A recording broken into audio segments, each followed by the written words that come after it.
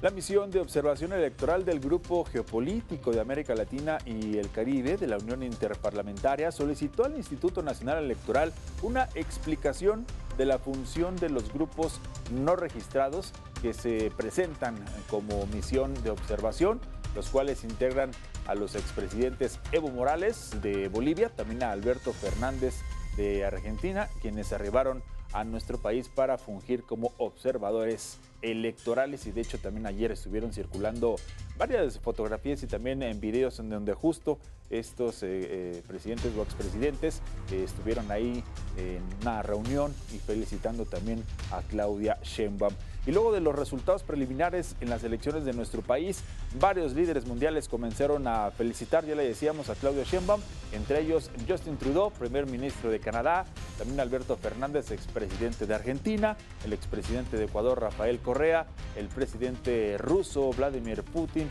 e incluso también Tedros uh, Adhanom, titular de la Organización Mundial de, la Salud. Ahí le estamos presentando justamente en pantalla estas publicaciones que eh, pues se dieron a conocer, por supuesto, a través de, de, estas redes sociales, en donde felicitan justamente a Claudia Sheinbaum por este triunfo ayer en las urnas en nuestro país.